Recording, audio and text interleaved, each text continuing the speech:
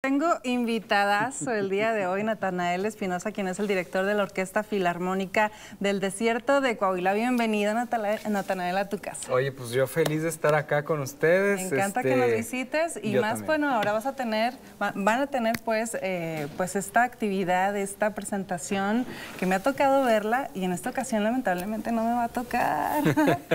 pues tenemos el día de hoy, tenemos concierto. El día de hoy toca celebrar a los niños, eh, ahora sí que de todas las edades. Y vamos a tener un concierto de gamers, gamer sinfónico, este, pues este eh, concierto que tiene que ver con la música de, videojuegos. Eh, y pues ahorita por el boom que hay por la película de Mario Bros, pues le estamos dando más importancia a la franquicia de Nintendo, que pues que es este el, videojuego este de, todos los tiempos, ¿no? De hecho, Un clásico de clásicos. Oye, este fue el que el que a mí me tocó. O sea, yo ya estoy revelando mi edad, ¿no? Pero Pero yo tuve esa consola, la consola de Nintendo, la original, la primera. Con, el control de Con el control rectangular, alámbrico, obviamente. Claro, sí. Y que venía precisamente con, con el juego de Mario Oye, que te quedaba marcado aquí para meterle el turbo ahorita. sí, cómo no. Y a eh, nosotros nos quedaron grabados esos sonidos, ¿no? Claramente crecimos con ellos. Muy padre. Realmente los, los arreglos sinfónicos de este, al menos del, del, del medley, del popurrí, de Mario Bros, del primerito, así, está súper padre, la gente lo va a identificar inmediatamente. Va a ser también un concierto narrado. Eh, eh, hoy les estoy platicando mucho el concierto y lamentablemente boletos ya no hay. Pero entonces, bueno, para los que para los que saben, eh, los que ya tienen su boleto, pues se la van a pasar muy bien. Y los que no, pues también ayúdenos a, a, que cuando salga un concierto de la orquesta y quieran ir, este, pues adquieran sus pases con con la mayor antelación posible. Bueno, también es que es una manera de introducir a, personas que a lo mejor no están tan familiarizadas con la música de la Orquesta Filarmónica, ¿no? Sí, también, también es un, es un espacio, eh, hay que abrirnos y, y, me parece que dentro de la cultura hay un, hay un término este, que ya se ha acuñado mucho que es la democratización de la cultura.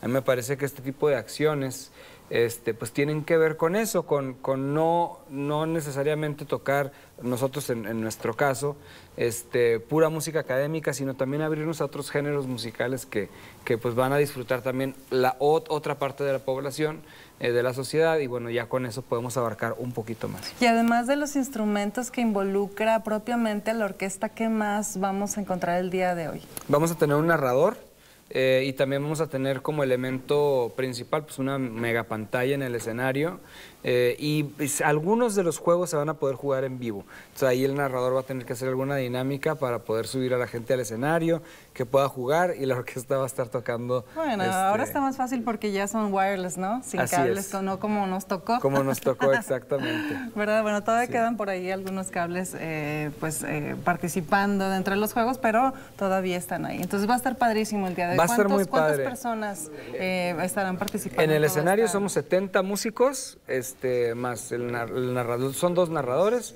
Eh, y bueno, yo creo que va a ser una, una experiencia muy grata para los que nos acompañen.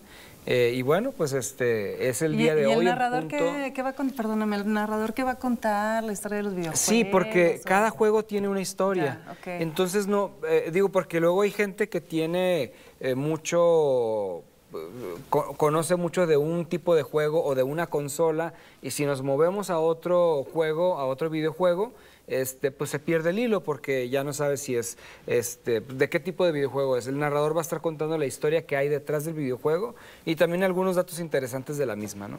Oye, vamos a ver desde Mario Bros hasta los otros, otros juegos Sí, hasta ya juegos más modernos este, de los que están ahorita eh, eh, los niños jugando. Muy bien, excelente Antonio, pues muchas felicidades, muchas les excelente, el día de hoy pues no alcancé boletos ni modo, pero en la próxima nos vemos ahí. claro que sí, muchas gracias a ustedes por el espacio. Muchas ¿eh? gracias y te esperamos a la próxima. ¿eh? Claro que sí, gracias.